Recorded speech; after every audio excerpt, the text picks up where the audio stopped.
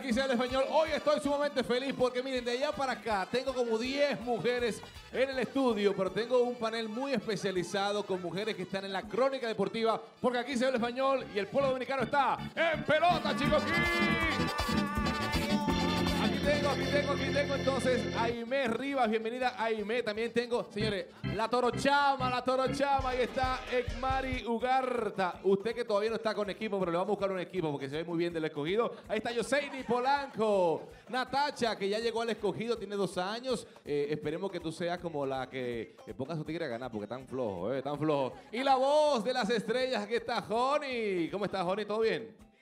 Gracias a Dios. Ey, suena así como, verá, como que chévere. Arranco contigo, Aimé, que tienes ya 16 años en la crónica deportiva, ¿cierto? Ya, ya está casi sacándole cédula a la crónica, Casi, ¿no? casi. ¿Por qué no estás trabajando con ningún equipo todavía? Bueno, yo cuando comencé, alrededor de 16 años, ya todavía no estaban dándole esa oportunidad a las muchachas.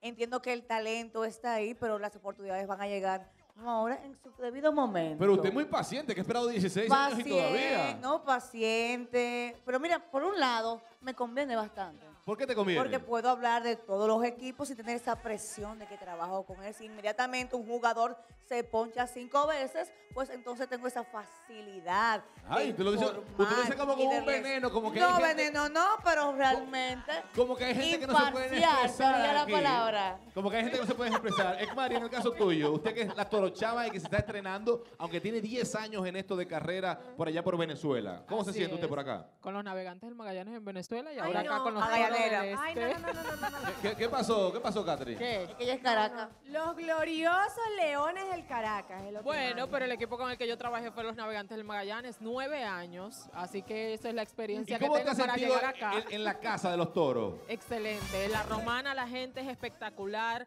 La gente de los toros del este me ha tratado muy bien. Así que yo creo que en mejor equipo, con el respeto de los demás, no pude haber caído. ¿Y, y ya sentiste los cachos del toro o todavía no has sentido los cachos del toro? Los he sentido, pero con amor. Pero complacida. Yo soy Nicolanco, ¿cómo estás? Muy bien, gracias. Te veo vestida de blanco y rojo. ¿Estás mandando algún mensaje en particular? Un mensaje No, para subliminal. Fíjate No. que estás al lado de Natacha, Claro, que está eso. con los leones. Por eso le pedí disculpas antes de estar Le aire, disculpas. Claro, por, Ay. vestir de, por, ve- por venir de rojo. Mira, hay algo, algo que estábamos hablando aquí. ¿Hay dinero, hay negocio con esto de la crónica? Para nada. Ay, ay. hay que picar mucho. Hay que picar mucho. Hay que picar mucho y eso es amor, amor, amor a la carrera. O sea amor que no hay dinero. Entonces, Yo hago cinco programas y todavía no llego todavía a hay que 100 mil. fajarse. ¿Cómo, cómo es? Usted, usted- Mira, está en cinco programas y cómo es? Y todavía no, se llega a 100 mil, o sea que... es que hay que estar, Hay que picar. Hay que estar como en cinco cosas para poder Exactamente. ¿En entonces. cuántos programas tú estás ahora mismo? Bueno, yo estoy en Somos Deportes, estoy en La Voz del Fanático.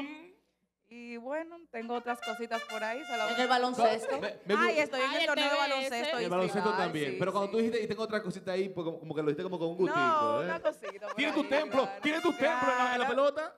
No, todavía no, no. todavía. no, ay, todavía ay, ay. Natacha, Natacha, tú que has estado con nosotros antes, eh, viniste con un equipo diferente, creo que era con los gigantes, ¿verdad? Sí, ¿Qué con los tal? gigantes. ¿Por qué cambiaste de los gigantes a los leones? Pero yo soy de aquí de la ciudad, estoy más cómoda, agradecida del tiempo que duré allá, pero ya... Fue un tipo que te dijo, mami, deja de estar dando viajes para allá, para el Cibao. ¡Juégatela! Ya, te voy a decir que sí, con. Mira, y, y- y ese que te hizo anclar acá en Santo Domingo, eh, tiene que ver con el deporte, es un pelotero. Lindo. Uy. El amor. No, no, ahí, ahí no te voy a dar gusto. Si él fuera, si él fuera del roster, ¿en qué posición tú lo, tú lo pondrías a jugar? Ay, Dios, es que no es pelotero. ¿Te gusta más como que eh, eh, right field, eh, eh, abridor o, o cuarto al palo? A ver, a ver, a ver. ¿Es, es un toletero? Eh, tercero, tercero. Tercero. Tercero. O sea, eso que co- corre, corre mucho, pero tiene, tiene buena fortaleza. Exactamente. buenos. Sí, sí. La- Así la mismo. saca de vez en Es cuando. importante ese hombre en el, en el béisbol de estos días. Sí, ah, espérate, espérate. ¿Cómo así? ¿Cómo A así? ver. Claro. Es importante porque baja carrera, baja carrera. Exactamente. Sí, sí. Sí, chocador, baja. buen chocador, buen chocador. Sí, sí. Sí, Así sí. mismo, así, mismo. así. Señores, estamos hablando de béisbol, ¿eh? estamos en pelota full. Pero claro, pero la- no se confundan, era de, de béisbol invernal. Y Mira, que te han dicho que te parece como a Rosalía. te digo lo que te dije fuera del aire. Dilo. Tú eres el segundo como lo dice. Sí, y el, y el primero que fue. No me acuerdo. El, el cho- el chocador, el El, cho- chocador. el chocador, el chocador. Señores, aquí tengo a la voz, la voz de las estrellas. ¿Cómo está usted? Hola, feliz de estar con ustedes. Pero tú, tú hablas así siempre o, o- o tú estás allá en el mood de, de, de- de- de- de los comerciales. Chico, chico, quítame tan pelosa. Chico, chico, ¿cómo, cómo tú estás? No te había sentido, ¿eh? No te había sentido hoy para nada. Eh, ¿Cómo estás? Todo bien. No me puedo ir parar en un colmado y que a pedir una sopita o un refresco con esa voz, ¿verdad que no? No, para luce. nada. A, a a nivel de voz comercial, ¿cómo, cómo, ¿cómo te sientes? ¿Cómo entras tú a este negocio? ¿Es difícil para una dama estar en esto de, oh, no bate de FAO, bébete tal cosa?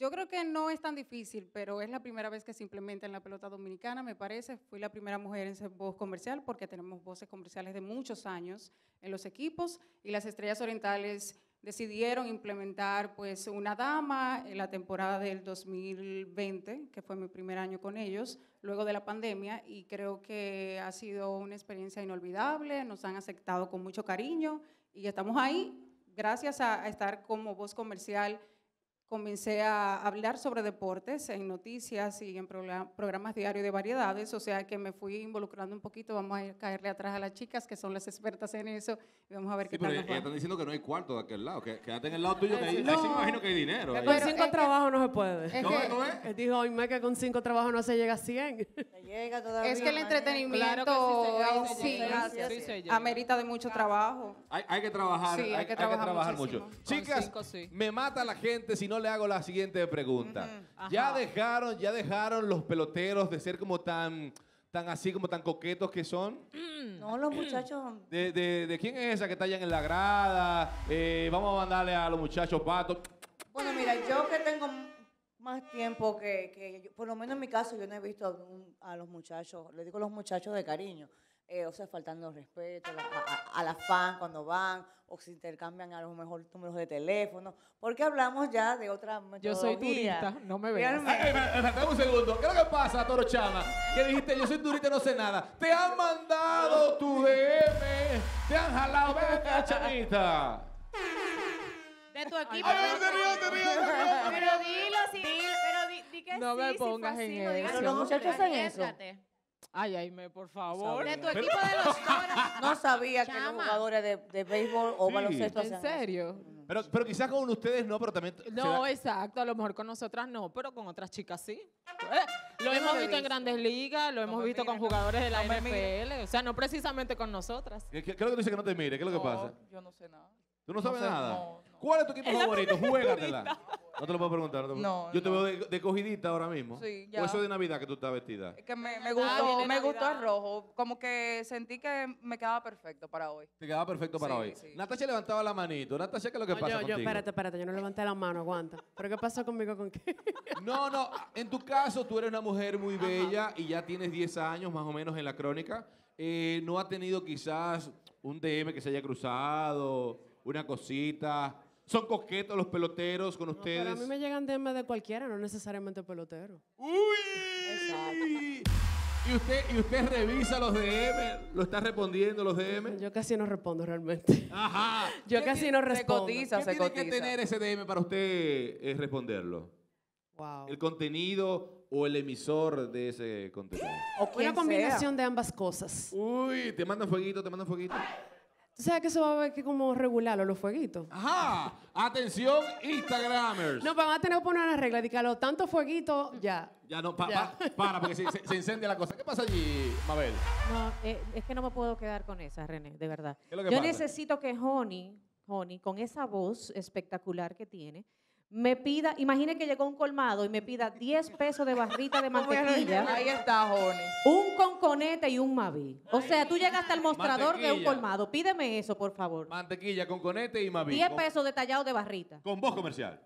Buenas tardes, tiene un conconete. Ay, no puedo. Aquí Tiro un con conete, no conconete se y una bate de fao. Coma con conete de colmado.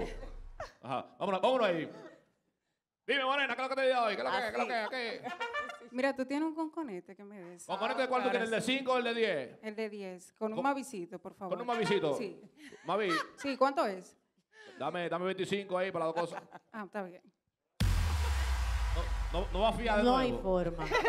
Miren, chicas, estamos en broma, pero también el, el- el- el- dominicano es muy celoso, sobre todo a nivel estadístico, es muy fanático. ¿Cómo se le da a ustedes esa combinación de siendo mujeres en un terreno que, que- que es muy domi- dominado por los hombres? ¿Les creen? ¿Les siguen? ¿Hay, hay, hay, hay algún tipo de celitos por ahí? ¿Cómo se da? Bueno, mira, eh, por lo menos en el programa que hacemos Edmar y yo y Karen Osuna, que es Mujeres en Pelota, por la 107.7 de Qué 2 bello, a qué 3 de la tarde. este, De 2 a 3. De 2 a 3. Siempre nos llaman para dar eh, numeritos, datos estadísticos y uno trata ya de prepararse y tener ahí mismo a la mano cualquier tipo de inquietud que desee el fanático que llama siempre para cualquier tipo de tema, tiene que ver con baloncesto, NBA, eh, fútbol, todo, todo, todo, y tratamos de complacer. No, y también está en la seguridad, en lo que tú proyectas cada noticia que das. Eso es importante porque entonces el fanático se siente seguro que a quien está escuchando está dando datos verídicos. Entonces eso también es importante. Ah, ¿qué quería Ha decir? sido eh, un trabajo arduo desde hace mucho tiempo. Eh, Natacha, eh, wow, Natacha Batista, Batista. eh, Doña Onfalia Morillo y también eh, eh, Adelaide Hernández, que han hecho como ese nicho, ¿verdad? De, de- de que nos, nos han abierto ese, ese camino para que hoy estemos donde estemos y, y el trabajo se vea y que sobre todo nos respeten, porque nos respetan. Las respetan. Irina, Irina, cuéntame. Sí, yo tengo la duda. Yo quiero saber si ustedes desde que nacieron y están pequeñitas tienen esta pasión por el deporte o es algo que surge ya después de adultas. Bueno, en mi caso, no sé si van a responder las muchachas. Yo recuerdo en mis años que mi padre me llevaba al play, este, después de ahí seguía los jugadores, los atletas. eh, y una cosa de la que me inclinó bastante en los deportes fue realmente como cuando mi padre siempre me, me llevaba a los estadios o cualquier tipo de deporte. Y entonces eso me inclinó más a irme por esa área. En mi, ca- Ajá. en mi caso, eh, igual, mi papá siempre me llevaba al play en Venezuela. Él es de los Leones del Caracas, como la amiga. Ay, qué bello. y yo soy, eh, y yo entonces bien. en casa sí éramos de los navegantes del Magallanes hasta que bueno trabajé con ellos y practiqué natación y también mi tío tiene un equipo de béisbol menor eh, afiliado a los criollitos de Venezuela entonces siempre estuve ligada al ligada béisbol. al, al béisbol. En el caso tuyo, que eres la única que, que es comercial, ¿cómo- ¿dónde te surge la pasión quizás por el, por el béisbol? Mira, yo comencé modelando, o sea, no tenía nada que ver con. Viene con pasarela, música, chicos, viene no, pasarela. ya vino lista. Sí, ¡Qué modele! ¡Qué Yo abro modele! pasarela y luego ¡Qué viene Jorge. modele! ¡Qué modele! Música de pasarela, Chico King, música de pasarela. Y ahora, la voz comercial también camina. Pero ahí, música, música de pasarela. vamos a modelar. Lo, lo- lo agarré, lo agarré, lo Sí, agarré sí, fuera de base. Chico así. Modelas tú, ay, ay, nosotros. música de pasarela, Chico King.